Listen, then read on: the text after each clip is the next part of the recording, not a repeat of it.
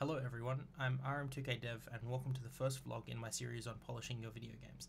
Um, so the first thing I want to let you know is that I'm going to be using GameMaker for these experiments, uh, simply so we can rapidly prototype the ideas, but the core concepts we're going to be using here are easily applied to any language, game, engine, whatever you're using, this should work fine. Um, secondly, I just want to let you know that I haven't planned these videos, so what I'm going to say in them um, is not scripted, um, I'm just going to wing it. Uh, I have got an idea of what I'm going to go over and cover in each lesson, but there's not really any script um, per se. So let's get started. Um, so the first thing I've got here is I've just got a little game. It's um, nothing too special. It's basically just a sprite on the screen, and when you click, he will move in that direction.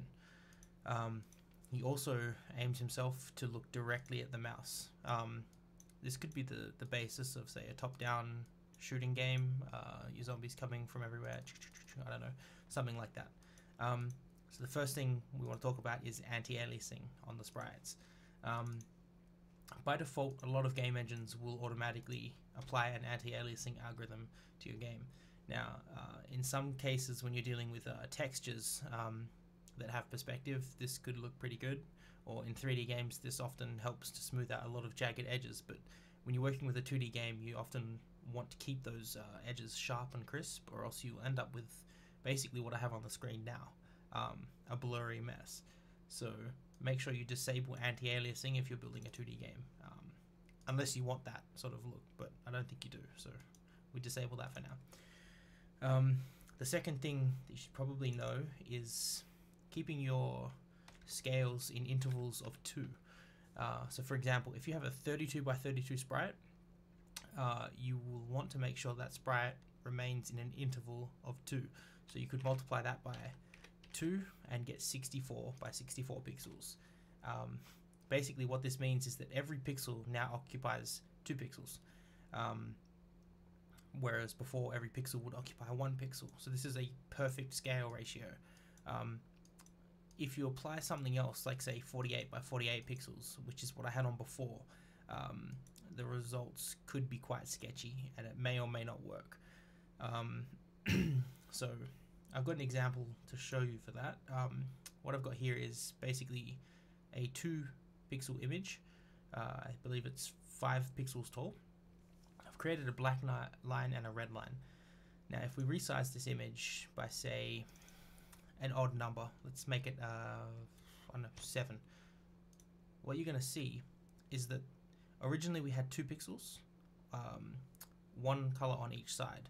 What you'll see here is, uh, if I just choose another color real quick, just to demonstrate this, we now have three pixels of red and what four pixels of black.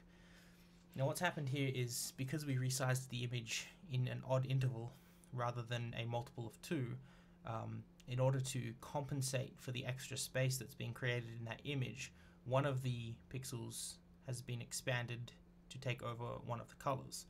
Um, it might not look so obvious at first, but it could be a problem when you're resizing images at runtime in your game.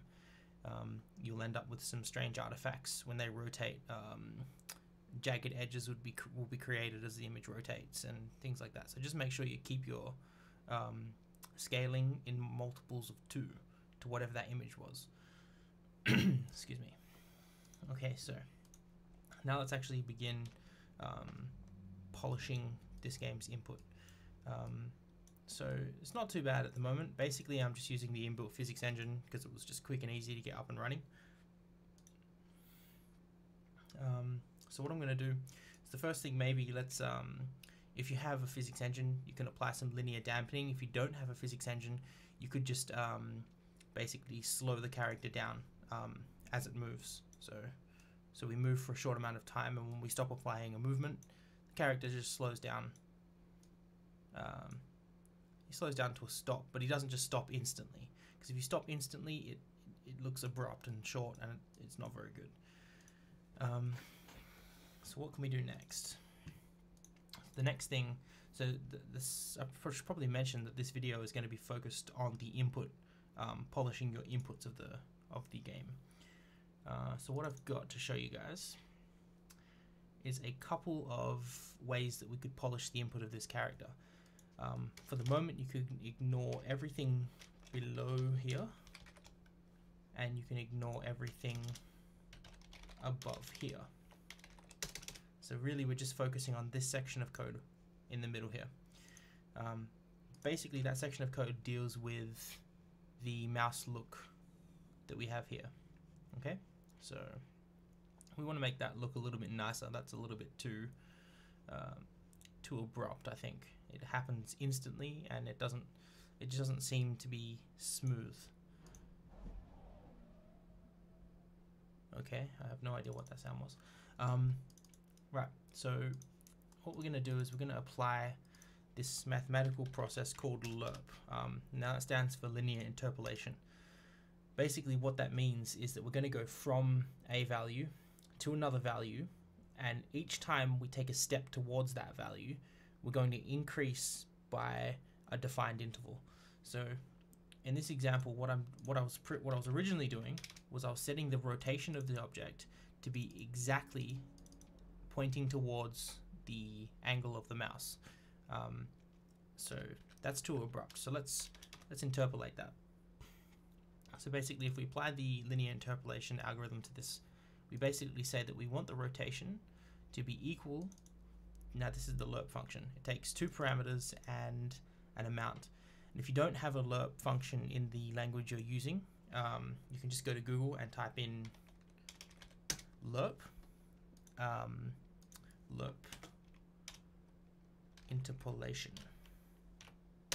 And basically what that will give you is a link to Wikipedia that will explain how that works. And I've just put that up now so we can see how it works. It's a lot of math, um, but the actual implementation of it is really simple. You can find a code-based example anywhere on the internet. Um, but most languages nowadays have a lerp function in their math library. Um, so what we're doing is basically we're going from whatever the rotation was to the rotation that we want, and we want to get there in steps of 0.1. So this should look a little bit nicer. Now, did you see that when it started? It, it sort of um, chased the mouse like it's doing now. So now it's not as instant as it was. This gives us quite a nice little, a much nicer and a nice smoother um, movement. You see there is one issue with this and it's the fact that we're dealing with angles. Um, angles, when they reach 360 degrees, they obviously go back to zero and that's what's happening here. But it doesn't know that it can just increase by a value of 1 and instantly make it there. So I have another function here to show you. Um, and this is another way of applying the lerp method. Um, basically, we're going to use a function called angle difference. Now this takes in two angles and it will return you the difference in degrees between those angles. So this time, instead of just setting it equal to this, we want to add it to this. So we'll just say the rotation is going to be whatever it was plus this function here. Okay, so we get the difference of the angle from the initial rotation to the rotation we want, and then we multiply that answer by 0.1, and this is just the speed factor.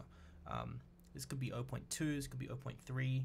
Um, a value of 1 would be instantaneous, so as you go down towards 0, it gets slower and slower and slower, giving you a nice gradual effect. Um, and so basically, if we have a look at this, now what we have is a perfectly smooth, perfectly move, perfectly smooth and correct rotating input mechanism.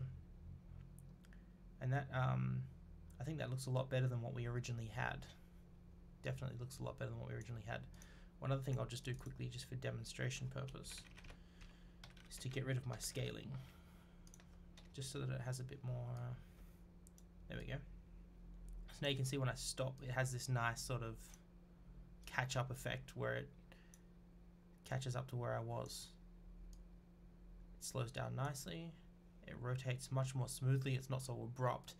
Um, and this is just one step you can take towards polishing your inputs. Okay, so um, good luck implementing that into your games, and thanks for watching.